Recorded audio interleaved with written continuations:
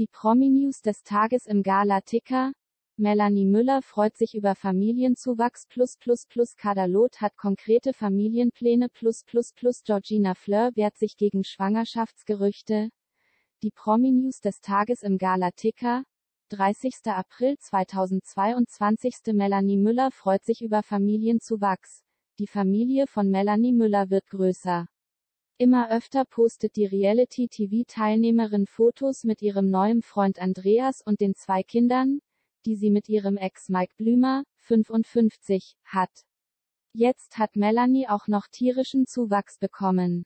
Auf Instagram postete sie ein Foto, auf dem sie ganz vernarrt mit einem Hund rumtollt. Nach einem tollen Shooting, habe ich diesen schönen Hund kennengelernt und gleich ins Herz geschlossen. Willkommen in der Familie, Zick, schreibt die 33-Jährige zu dem Schnappschuss. In ihrer Story verrät sie außerdem, dass der neue Familienhund Max heißt und gerade mal sieben Monate alt ist.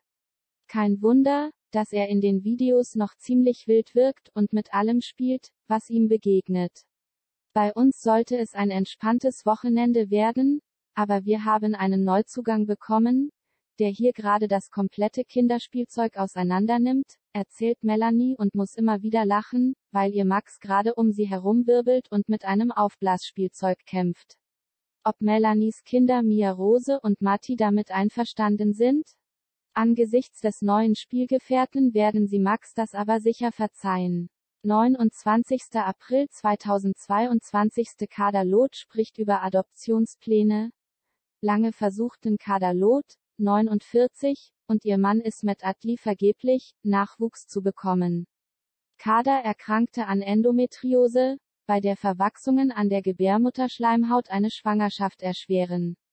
Auch eine künstliche Befruchtung blieb erfolglos.